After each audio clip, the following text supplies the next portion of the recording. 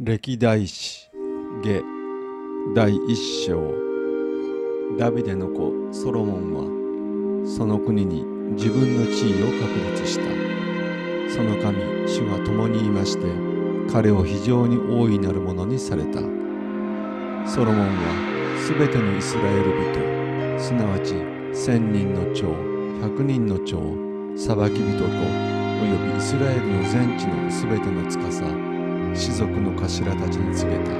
そしてソロモンとイスラエルの全会衆は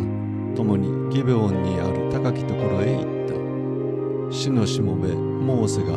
荒野で作った神の会見の幕屋がそこにあったからである。しかし神の箱はダビデがすでにキリヤテヤリムからこれのために備えたところに運び登らせてあった。ダビデは先にエルサレムでこれのために天幕を張っておいたからである。またホルの子であるウリの子ベザレルが作った聖堂の祭壇がそのところの主の幕屋の前にありソロモンおよび改宗は主に求めた。ソロモンはそこに登っていって会見の幕屋のうちにある主の前の聖堂の祭壇に反祭一銭を捧げた。そのよう神はソロモンに現れて言われた。あなたに何を与えようか。求めなさい。ソロモンは神に言った。あなたは私の父ダビデに大いなる慈しみを示しまた私を彼に代わって王とされました。主なる神よどうぞ我が父ダビデに約束されたことを果たしてください。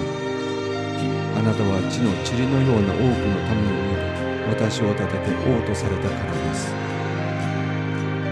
この民の前に出入りすることのできるように今私に知恵と知識とを与えてください。誰がこのような大いなるあなたのために裁くことができましょうか。神はソロモンに言われた。このことがあなたの心にあって富をも宝をも誉れをもまたあなたを憎む者の命をも求めずまた長命をも求めずただ私があなたを立てて王とした私の民を裁くために知恵と知識とを自分のために求めたので知恵と知識とはあなたに与えられている。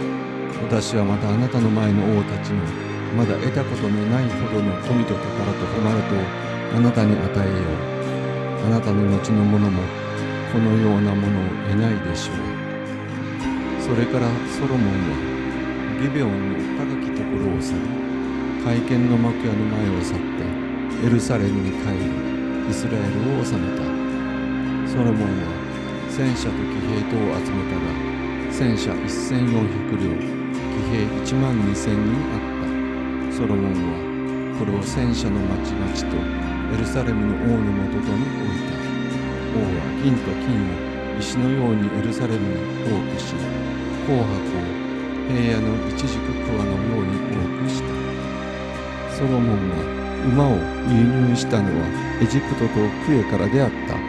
すなわち王の貿易商人がクエから代価を払って受け取ってきた。彼らはエジプトから戦車1両を銀600シケルで輸入し馬1頭を銀150で輸入した。同じようにこれらのものが